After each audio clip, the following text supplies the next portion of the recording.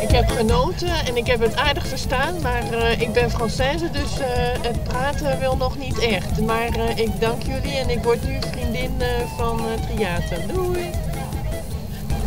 Ja, bijzonder genoten. Erg koud geweest, maar Friesland boppen. Perfect. Oké, En dan maar die uit te drukken? Nee, hij is Oké. Nou, ik voel me best dadelijk.